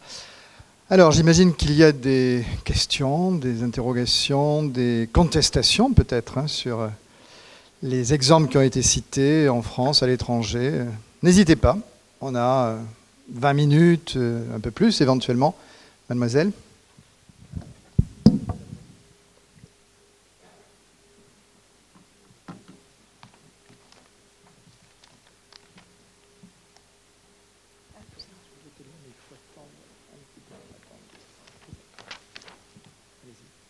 Ah Le lundi 16 décembre 2019, les maires progressistes de Budapest, Prague, Bratislava et Varsovie ont signé un pacte des villes libres en réaction aux dérives de leurs gouvernements dits illibéraux respectifs. Bien que la signification de cette alliance reste avant tout symbolique, les quatre capitales pourront s'unir en pratique pour obtenir des fonds européens et défier leurs exécutifs nationaux voulant réduire leur marge de manœuvre. Ma question est la suivante. Pensez-vous qu'il faut lutter, voire éliminer le ou les populismes, quitte à faire taire l'avis d'une grandissante partie de la population. Sinon, pourquoi Si oui, comment Est-ce qu'il faudrait contrôler la véracité de l'information, par exemple, afin d'éviter toute déformation de la réalité, à l'instar de l'immigration qui me concerne, qui est considérée comme une menace par les citoyens, mais euh, qui est considérée comme un majeur facteur de croissance économique par les plus qualifiés d'entre eux, et en partie euh, dans l'histoire?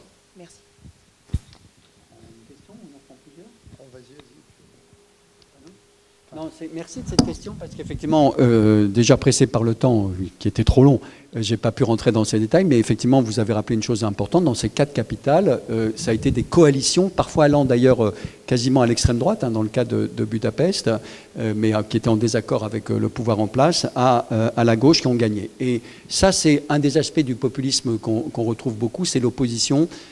alors qu'on j'aime pas utiliser cette expression, mais qui est très facile à comprendre, périphérie contre centre-ville. Pourquoi je n'aime pas cette expression? Parce que c'est pas vrai c'est pas homogène. Hein. Quand on rentre dans le détail, on a des cartographies euh, quasiment, euh, j'allais dire, de micro-cartographie euh, électorale. On s'aperçoit qu'il n'y a pas une périphérie toute unie de petites villes, de zones rurales contre des centres-villes. Au sein des centres-villes, au sein des villes, il y a des zones périphériques aussi. Et au sein des zones périphériques, il peut y avoir aussi des isolats de type grande ville. Mais effectivement, il y a en Pologne notamment, en Hongrie, dans les pays que vous avez cités, il y a cette opposition entre les centres-villes et le reste euh, des euh, populations. Alors ça, c'est un constat, et on le retrouve dans presque toutes les analyses électorales qu'on a.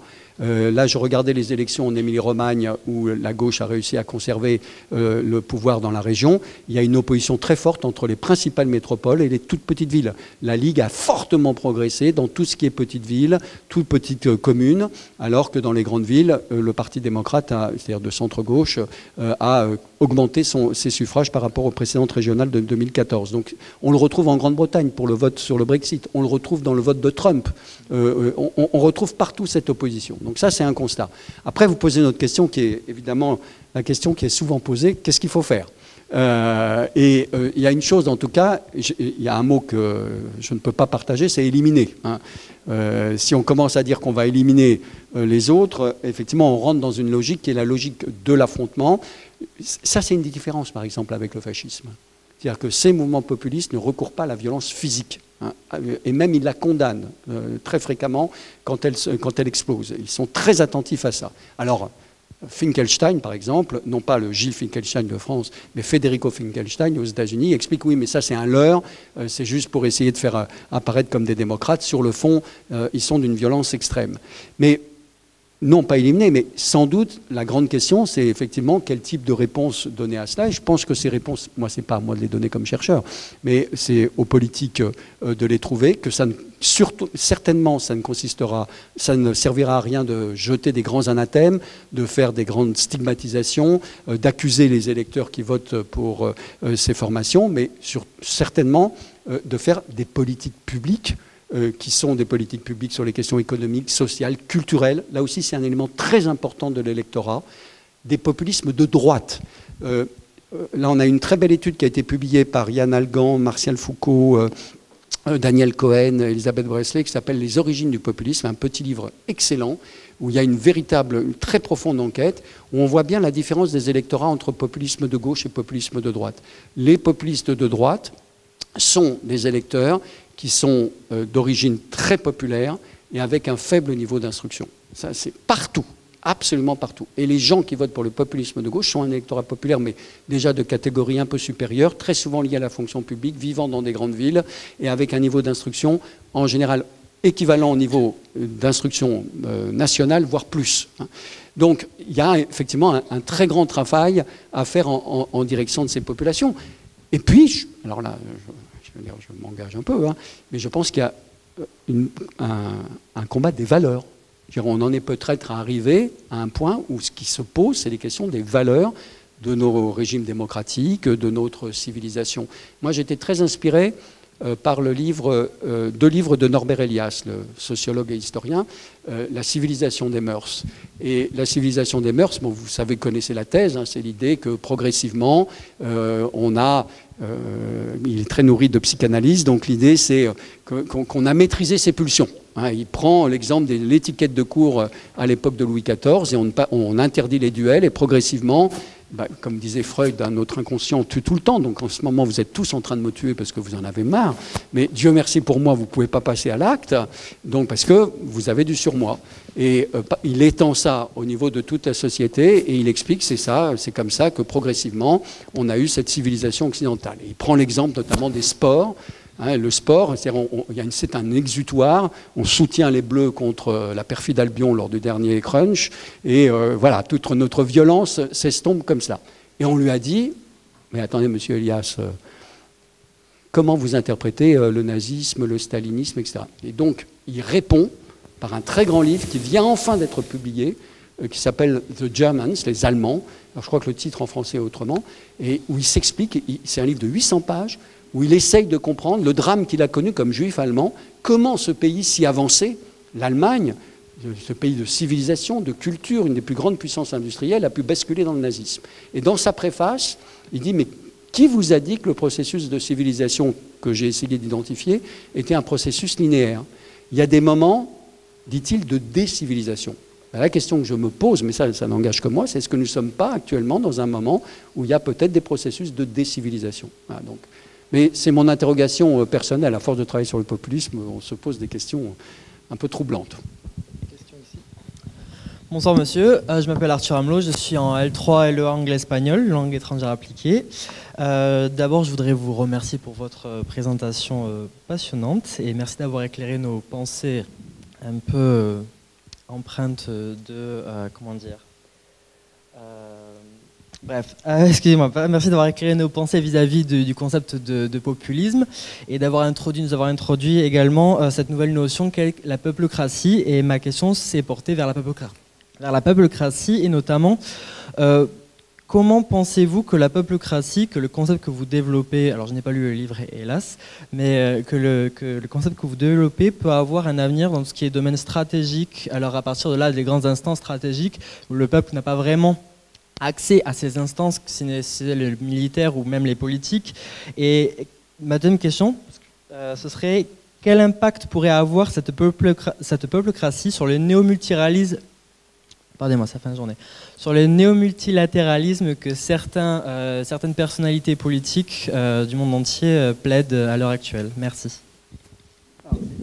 Merci, c'est des lourdes questions. Euh, alors, il faut bien s'entendre parce qu'on on nous a souvent critiqué à juste raison hein, sur ce néologisme euh, de peuplecratie.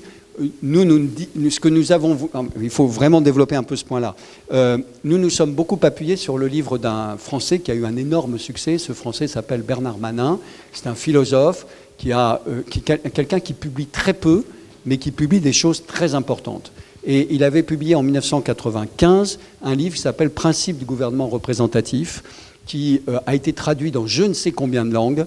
Par exemple, dans tous les départements d'histoire aux Pays-Bas, c'est le livre que les étudiants doivent absolument lire. Et euh, dans la version anglaise. Il y a une version anglaise, il y a une version allemande, il y a une version néerlandaise, il y a une version italienne. Bon. Et qu'est-ce que disait Bernard Manin euh, C'était toute une réflexion sur euh, justement les, questions du gouvernement représentatif. Et on n'a retenu que la fin, malheureusement pour lui, parce qu'il y avait toute une série de réflexions qui aujourd'hui sont très très à la mode sur euh, est-ce que la démocratie est véritablement fondée que sur le principe électif, sur le vote? Et il rappelait notamment l'importance du tirage au sort du tirage au sort dont il rappelait que jusqu'au XVe siècle, il était euh, en fonction dans le duché de Toscane, par exemple. Et il explique que finalement, la démocratie, c'est justement l'idée que chacun peut être compétent, j'y ai fait allusion tout à l'heure, et que par l'intermédiaire du tirage au sort, on peut peut-être essayer d'améliorer notre système démocratique. Mais à la fin, il y avait quelques pages en disant on est passé, nous sommes en 95, hein, euh, et donc le livre avait été conçu deux, trois années avant, euh, nous sommes passés dans une autre ère de nos démocraties. Et euh, il, disait, il écrivait, les grandes cultures politiques, les grandes idéologies euh, sont en train de s'estomper, les gens se réfèrent de moins en moins à cela, l'électorat, pour une partie d'entre de cet électorat, est plus volatile, plus stratège, et par conséquent, ce qui compte de plus en plus, et il emploie cette expression, c'est la démocratie du public. Et cette démocratie du public, elle est caractérisée par l'importance justement des enquêtes d'opinion, par la télévision, par la présidentialisation, par la personnalisation, par la médiatisation. Et donc, ce livre, surtout pour ces dernières euh, pages, a eu un impact considérable. Les gens passaient les 300 pages avant et se précipitaient sur le, chapitre final. Berlusconi l'a lu. Et il a même fait traduire en italien pour la plus grande horreur de Bernard Manin, qui euh, une partie de ce livre a été édité comme cela et instrumentalisé par les Berlusconiens quand ils sont entrés en politique en disant bah, nous c'est la démocratie du public. Alors pourquoi ce développement? Parce que nous, nous pensons qu'au sein de cette démocratie du public, nous sommes peut-être justement arrivés dans une nouvelle période déterminée par cette, puissance des populistes, encore une fois qu'ils soient au pouvoir ou pas. Et donc, je l'ai très rapidement esquissé à la fin de cette présentation, effectivement, il y, a, deux alternatives, il y a une alternative possible, ou l'étape suivante, ben, ce sera le, ce, ce qu'Orban fait, c'est-à-dire que nous passerons dans une démocratie illibérale. Ça veut dire quoi? Je vais vous prendre des exemples concrets. Un exemple concret qui, pour moi, illustre notre thèse. Au mois de juin 2018, euh, le mouvement 5 étoiles et la Ligue forment un gouvernement à la surprise générale, parce qu'ils n'étaient pas alliés pour les élections. Au contraire, ils étaient en rivalité. Ils, appellent un, un, collègue, un professeur euh, des universités, M. Giuseppe Conte, et ils forment un gouvernement. Le président du Conseil, enfin, celui qui devait être président du Conseil va voir le président de la République. Et le président de la République, M. Mattarella, lui dit, écoutez, ce gouvernement, je l'accepte, mais au terme, alors si je me souviens bien, c'est l'article 92 de la Constitution, je refuse la nomination de votre ministre de l'économie. J'ai le droit constitutionnel de le faire. Et il avait tout à fait raison. Pourquoi? Parce que la personne que vous voulez voir, je la connais bien, c'est un grand universitaire, M. Savone, hein, mais il est pour la sortie de l'Italie de l'euro. Et ça, c'est contraire au traité internationaux que l'Italie a signés. Je ne peux pas l'accepter. Moi, j'étais à Rome à ce moment-là. il y a eu 3-4 jours de panique. Et qu'est-ce que c'est la peuplecratie C'est illustré par l'attitude qu'ont eu immédiatement le mouvement 5 étoiles et la Ligue. Le mouvement 5 étoiles a dit on va engager une procédure d'impeachment constitutionnel, qui n'existe pas dans la constitution italienne. Donc au bout de 2-3 jours, ils ont quand même compris que ce n'était pas possible. Et la Ligue a dit on va faire une marche sur Rome. Une marche sur Rome. Donc dans l'imaginaire italien, c'est octobre 1922. Puis il renonce rapidement. Mais ce qui est intéressant au-delà de cet émoi énorme, pendant quelques jours, il y a une sorte de panique à Rome dans les milieux dirigeants, c'est en dehors de cet émoi, c'est l'argumentaire. Qu'est-ce qu'ils disent? Ils disent on a gagné les élections, ce qui était faux puisqu'ils n'étaient pas alliés. Et deuxièmement, puisque nous avons gagné les élections, nous avons le droit d'imposer ce gouvernement. Parce que le président de la République, qui en Italie est élu par les deux chambres, avait été élu par la précédente législature. Et donc il doit s'incliner devant la souveraineté populaire. Ben, c'est ça la popocratie. Et le président de la République a dit Je suis désolé, moi j'ai été élu pour sept ans. À la fin de mon mandat, vous ferez ce que vous voudrez. Mais je suis élu au terme du traité constitutionnel. Ça, c'est non pas la subversion des institutions, parce qu'ils ne l'ont pas fait, mais c'est la volonté de bousculer les institutions au nom de cette idée la souveraineté du peuple est sans limite. Puisque nous avons gagné les élections, nous pouvons faire ce que nous voulons. Et c'est ce que fait Orban de facto. Donc, ou on ira vers cette démocratie libérale, ou il faut profondément repenser la démocratie libérale et représentative. Alors moi, je ne suis pas un spécialiste de ces questions, mais c'est vrai qu'il y a tout un groupe, il y a plein de gens qui travaillent là-dessus, euh, démocratie délibérative, démocratie participative, mais ce que l'on comprend maintenant, c'est que, et ça c'est, quand on regarde la production sur les populistes, c'est très intéressant parce que jusqu'à quelque temps, beaucoup d'analystes disaient que ces populistes sont anti-libéraux, ils sont contre le libéralisme, parce qu'en fait, au bout d'un moment, ils veulent tout pouvoir. Mais ce qu'on comprend, c'est qu'ils sont aussi contre l'idée même de la représentation contre le principe de la représentation. Et ce principe de la représentation, beaucoup de citoyens, y compris en France, ne l'acceptent plus. Et on l'a vu avec la crise des Gilets jaunes. Une partie des citoyens considèrent que le principe lui-même de la représentation doit être remis en cause. Et donc, c'est sans doute autour de ça qu'il faut retravailler. Est-ce qu'il faut réaffirmer juste, ah ben notre démocratie, il faut améliorer un peu notre démocratie, faire un peu de proportionnel, organiser de temps en temps quelques référendums, ce qui sera, euh, j'allais dire, la petite recette, le sparadrap sur la plaie, ou est-ce qu'il faut repenser considérablement toute notre démocratie libérale et représentative Moi, dans l'état où je suis de ma réflexion, qui n'est pas solitaire, parce qu'on a tout un groupe qui travaille là-dessus, je pense de plus en plus qu'il faudra effectivement repenser complètement nos formes de démocratie euh, libérale et représentative et faire tout un travail d'accompagnement, même pédagogique, et ce sera euh, difficile parce qu'il y a une défiance considérable à l'égard, d'ailleurs, de la politique, mais pas simplement à l'égard des chefs d'entreprise, à l'égard des banquiers, à l'égard du monde des experts, à l'égard du monde des universitaires. C'est ça la société d'aujourd'hui. Euh, et, pas simplement en France. Donc c'est vrai qu'en en, disant cette popocratie, c'est une dynamique une potentialité dont je ne vois pas l'issue pour le moment. Voilà, c'est ça qu'on a voulu, euh, on a voulu provoquer un débat hein, euh, autour de cette notion qui n'a pas très bien marché, parce que, en tout cas en France, en Italie, il y a eu beaucoup, beaucoup de questions, parce qu'ils vivent ça quasiment au quotidien. Donc il y a eu beaucoup, beaucoup de, réactions. En France, euh, le livre s'est bien vendu, mais il n'y a, pas eu trop de débats sur justement cette notion de popocratie.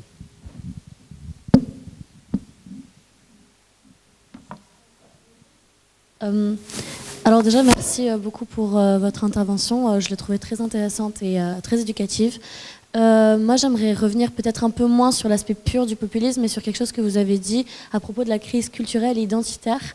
vous avez parlé d'une identité culturelle complexe vis-à-vis de ce que ça voulait dire actuellement d'être italien, français ou autre en Europe. Et du coup, moi, ma question, ça serait, est-ce que vous pensez que euh, actuellement le concept de citoyenneté est, serait passé d'âge? Non, je pense. merci pour votre question. Non, c'est, une question effectivement très délicate, très, très compliquée. Non, euh, il faut. Euh, la citoyenneté doit évidemment être plus que jamais mise au, premier plan, parce que quand je dis crise culturelle et identitaire, c'est que encore une fois, c'est la dimension culturelle et identitaire d'une nation, c'est une construction. On sait très bien que ça évolue dans le temps, que tout le monde, que tous les habitants d'un même pays euh, ne le vivent pas de la même façon. Ils n'adhèrent, par exemple, en France, euh, on n'adhère pas à la République de la même façon euh, au fil de l'histoire. On n'adhère pas à la République même selon les régions, selon son origine sociale, selon son niveau culturel. Mais il y avait un certain nombre, on pouvait penser qu'il y avait un certain nombre d'éléments qui fonctionnaient comme des références dans des sociétés plus homogènes, telles qu'elles ont pu exister, dans un rapport aussi parfois de confiance entre classes dirigeantes et euh, dominées, comme on dit, ou, citoyens, justement. Donc tout ça est, en évolution. Mais non, la notion de citoyenneté doit être au contraire, plus que jamais, euh, affirmée, répandue, accentuée, approfondie. Et c'est un élément que je n'ai pas pu dire, mais c'est ça qui est très intéressant dans le cas du populisme, en tout cas pour un chercheur, c'est que très souvent on dit, vous verrez, euh, les populistes, c'est des anti-politiques. Et c'est vrai, ils sont anti-politiques au sens tous pourris, tous corrompus, qui est quelque chose de très fort et qu'on connaît depuis très longtemps en France. Hein. C'est pas neuf. Dans notre histoire euh, euh, politique, euh, depuis le 19e siècle, régulièrement contre les parlementaires. Pensez à la représentation du, parlementaire avec son chapeau haute forme, son cigare, c'est comme le patron, son gros ventre, passant son temps dans les restaurants. Alors c'est vrai, quand on voit certains sénateurs, bon, enfin passons. mais cette image parfois peut être un peu confortée. Excuse-moi Bernard. Non pas que tu sois sénateur, là je, je joue un peu.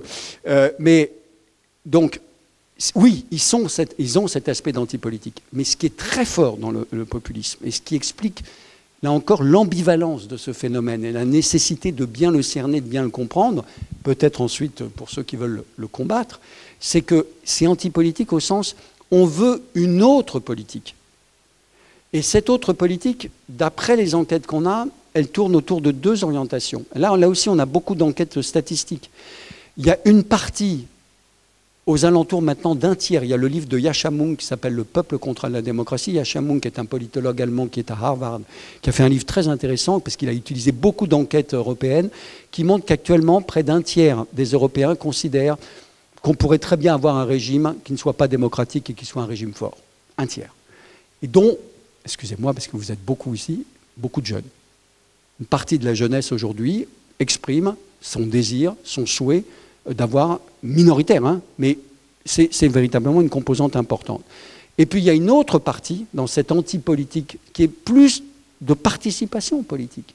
On ne veut plus attendre tous les quatre ou les cinq ans pour euh, être appelé à voter. On veut contrôler nos élus, on veut avoir plus de transparence, on veut avoir la possibilité d'intervenir. D'où, par exemple en France, la fameuse euh, proposition du référendum d'initiative citoyenne, tout le débat qui est relancé autour du référendum. Comme actuellement, il y a eu deux articles d'ailleurs dans le monde très intéressants hier sur les assemblées, la Convention citoyenne sur le climat, où il y a eu 150 personnes tirées au sort, où il y avait une enquête qui est faite par une politologue belge, si je me souviens bien, un article très intéressant qui, euh, disait c'est une expérience très intéressante. Le tirage au sort, c'est l'idée je ne suis pas compétent, mais je suis citoyen. Là, on, a été tiré au sort.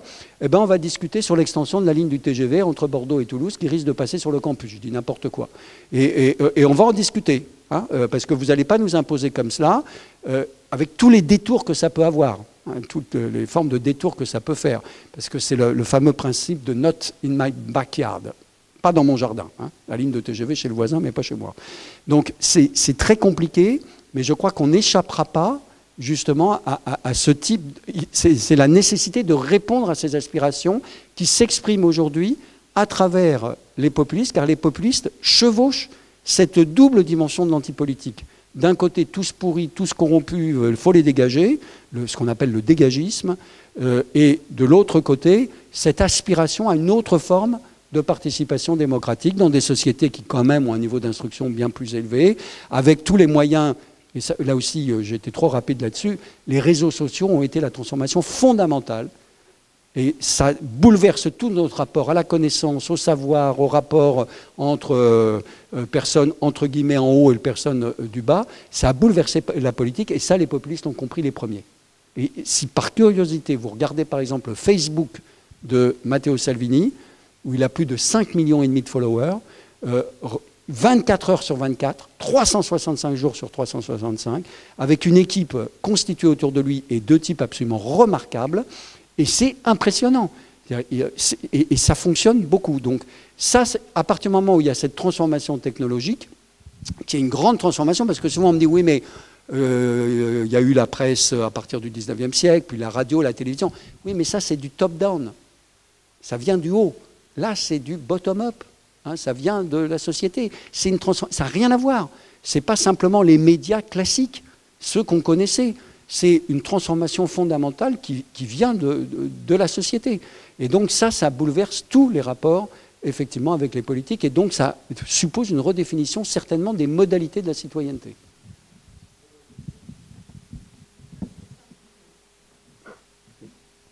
Je suis Ah oui, les sardines. Que pensez-vous des sardines? Alors, Je ne sais pas si tout le monde sait ce que c'est que les sardines en dehors de ce qu'on mange. hein. Les sardines, c'est ce mouvement très intéressant, effectivement, euh, qui est né euh, à Bologne pour les élections régionales de quatre ou cinq jeunes Italiens. Quand on dit jeunes Italiens dans un pays gérontocratique, hein, euh, c'est des gens de 35 ans. Bon, euh, mais c'est l'Italie. L'Italie est devenue un pays totalement gérontocratique, qui euh, ont eu une réaction de citoyens et qui ont dit on va se presser comme des sardines sur les places. Donc l'idée, c'était de réinvestir les, pla- les places, les rues, parce que Matteo Salvini faisait des meetings, mais d'être présent aussi, vous voyez, les, les nouvelles formes d'action, euh, s'ils appelaient les gens à venir comme des sardines sur la place majeure, la grande place de Bologne, puis sur toutes les places d'Italie, dans toutes les rues d'Italie progressivement, c'est par l'intermédiaire des réseaux sociaux. Il n'y avait pas de structure, c'est par l'intermédiaire des réseaux sociaux. Et ce qui est très intéressant dans ce mouvement, qui voulait s'opposer à Salvini, qui a gagné d'ailleurs, euh, c'est un mouvement qui se dit euh, non lié à des partis politiques, mais c'est effectivement très intéressant parce que c'est un mouvement qui dit il y en a marre de la simplification, il y en a marre de la haine, il y en a marre euh, justement de ces anathèmes permanents. Nous, on veut retrouver les valeurs profondes de la politique.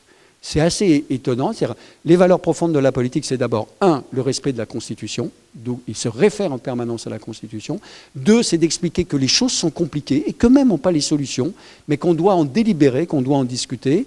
Et maintenant, ils deviennent une force de proposition, puisqu'ils ont rencontré des ministres ces jours-ci, euh, pour leur faire, où ils disent, voilà nos propositions pour le développement du sud de l'Italie. Donc c'est l'idée euh, que la politique, c'est quelque chose justement de, de beau, de compliqué, alors évidemment, est-ce que ça va continuer? Il semble qu'il y ait déjà des divisions entre eux. Au début, ils ne voulaient pas de chef, et puis euh, un ou deux qui ont commencé à passer devant toutes les télévisions, qui ont sans doute pris euh, goût à ça. Euh, Quel rapport avec les partis politiques? Est-ce qu'ils doivent se transformer en partis politiques? Quelle population sociologique? Au début, on a pensé c'est des jeunes avec un haut niveau d'instruction, mais progressivement, en tout cas, il faudra bien sûr des enquêtes très poussées, mais d'après les premiers comptes rendus journalistiques, c'était une population aussi beaucoup plus mixte en termes générationnels. Euh, donc, ils ont créé une forme d'espoir, mais le plus intéressant, c'est justement, c'est l'idée, euh, bah, il faut qu'on fasse une politique noble. La politique, c'est noble, et, et ce n'est pas simplement les simplifications. Et ça, c'est la grande question qui se pose euh, au terme de mon raisonnement, et d'ailleurs qui m'a été posée euh, puisque je faisais ce type de conférence, euh, à Paris devant des, étudiants américains. A un étudiant américain qui dit, écoutez, comme vous, très gentiment, Ah, c'est très intéressant, mais j'ai une question à vous poser. Vous savez, les Américains, la question c'est très simple. Le prochain candidat démocrate face à Trump, il doit faire du populisme ou il doit faire autre chose? Et effectivement, euh, c'est la grande question. Est-ce qu'il faut faire comme Macron en 2017, qui ne pourra pas refaire en 2022, parce qu'il aura exercé le pouvoir pendant 5 ans. Est-ce qu'il faut faire comme a fait Matteo Renzi en 2014, 40% aux élections européennes, en parlant directement au peuple, en tweetant en permanence, euh, en agressant tout le monde, en se présentant devant le Sénat, les mains dans les poches, euh, en regardant les sénateurs, en disant euh, Messieurs et Mesdames les sénateurs, depuis tout petit je vous vois, euh, sur, depuis tout petit je vous vois, vous êtes toujours ici les mêmes. Moi je ne peux pas siéger de votre côté, sous-entendu j'ai moins de 40 ans. Et de toute façon, c'est la dernière fois qu'un président du Conseil se présente devant vous parce que je vais vous dissoudre. Bon, ça, c'était Matteo Renzi dans sa splendeur de style populiste en, en 2014. Alors, Est-ce qu'il faut faire ça? Ou est-ce qu'il faut faire Romano Prodi? Romano Prodi, il est allé battre deux fois Berlusconi. Romano Prodi savait, qu'il ne pouvait pas rivaliser avec Berlusconi sur son même terrain. Berlusconi, comme on dit en Italie, il vous vend le Colisée. euh, c'est un formidable bonimenteur, il est extraordinaire. À la télévision, tous ceux qui ont essayé d'aller sur son terrain euh, se sont fait écraser. Parce qu'il se moque de vous, il vous ridiculise, il, bon, il fait des plaisanteries douteuses, mais bon, il les fait. Tout le monde, il est sympathique, tout ce que vous voulez. Vous lui donneriez euh, tout. Bon, c'est un vendeur. Et Prodi, il s'est dit, je ne peux pas jouer à ça, donc il a joué l'expert. Il a joué la compétence. Alors, ce n'est pas la seule raison qui explique sa victoire, mais c'est le dilemme, effectivement. Est-ce qu'il faut euh, adopter un style populiste ou est-ce qu'il faut faire comme disait Sardine Non, il faut exactement faire l'opposé. Hein, il faut faire l'opposé. Il faut montrer euh, ce qu'est euh, un leader ou une responsable démocrate. C'est le grand dilemme des démocraties. Cette question de cet étudiant américain, elle m'est restée en tête parce qu'effectivement, qu'est-ce que devra faire le candidat démocrate ou la candidate démocrate face à Trump? Est-ce qu'il faut jouer à Trump bis, la copie de Trump? Vous vous souvenez du débat Trump-Hillary Clinton où il tourne autour d'elle, il veut l'intimider physiquement, il la brutalise dans ses, dans ses tweets en permanence, c'est qu'il tweet tout le temps. Ah Est-ce qu'il faut faire la même chose? Aller sur ce terrain-là? Ou est-ce qu'il faut dire, ben non, Nous, on a une autre conception de la politique. C'est tout le problème aujourd'hui. Et ce problème-là révèle l'ampleur des mutations de nos démocraties.